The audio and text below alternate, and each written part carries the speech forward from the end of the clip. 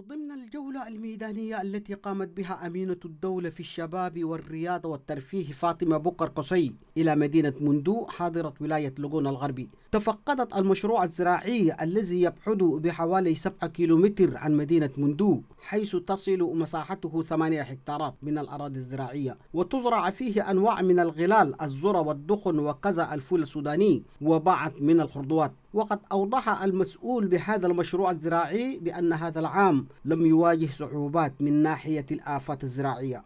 difficulté عندنا ده عندنا حاجات كتير مقصرة لنا هنا في الزراعة ده.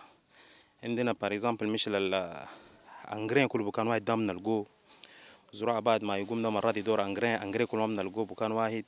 وبكان واحد ده عندنا difficulté في التراكتير. ذات مرات كان ما لقينا بدري ده نأجروا من الناس كان ما لقينا بدري ده خلاص الزراعة كله كله بتفشل. وكان لقينا بدري كانت الزراعة تنجح. هسه القاعدين فوق ده هو 8 هكتار. ده بنسوي ذرة ودخن. عندنا 4 هكتار بخادي ده بنسوي فول. وعندنا 4 هكتار بخادي ده أول قلنا نزرعوه سمسم. لكن هسه حاليا ده الشيء التراب ده بقى ضعيف عشان ما كان engrais وشون ده خلينا ما زرعناه.